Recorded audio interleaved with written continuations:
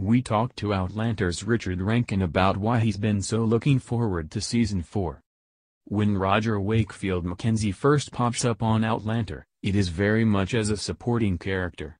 First, he's the orphan kid who is around being adorable during one of the worst periods of Frank Randall's life. Then, he's the handsome, accommodating historian who acts as Brianna's tour guide and unwittingly gets pulled into Claire's big secret. This season, he's set to become something even more, a time traveler with his own, often, miserable, adventures.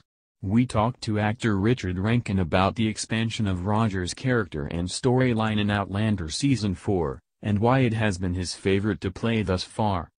Yeah, I mean that was one of the things I was looking forward to most, said Rankin of all of the drama Roger has, will go through in Season 4. And you're obviously very well aware of where our story was headed. We've known casting for quite a while so it gave us an opportunity to read ahead and look at where our characters were going. So I was always very excited by seeing forward anyway and seeing what Roger gets up to.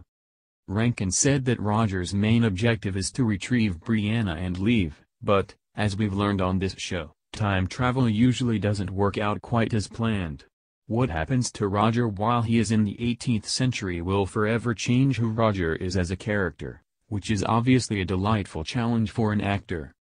I think one of the most interesting things of what was most fascinating for me to play with was just how much this man changes over the course of events in Season 4, said Rankin.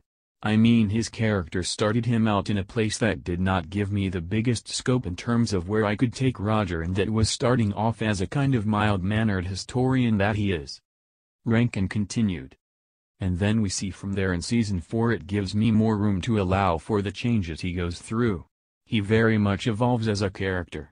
He comes out of being beaten, I think, a very different man. Whether or not that's for bad or good, I'm not sure yet. I'm not sure how, you know, what kind of effect it has on him. Certainly a profound one. For Rankin, this is the reason to take on a role like this one. As an actor, I think season 4 has given me everything I could possibly want in a character, said Rankin. Everything you could possibly ask for and it's usually challenging apart from it was a lot of things to overcome. And it was a great undertaking, I really enjoyed season 4. I'm very excited by it. Hopefully it will be as well received as it can be.